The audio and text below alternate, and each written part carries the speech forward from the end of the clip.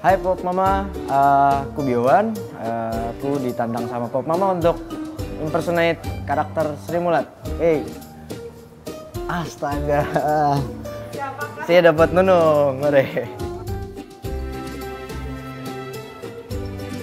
Oh iya, saya sudah lama ketemu sama Mas Bas. Nah iya toh, oh, berarti gitu-gitu tuh kalau nunung tuh. Terus gimana lagi ya?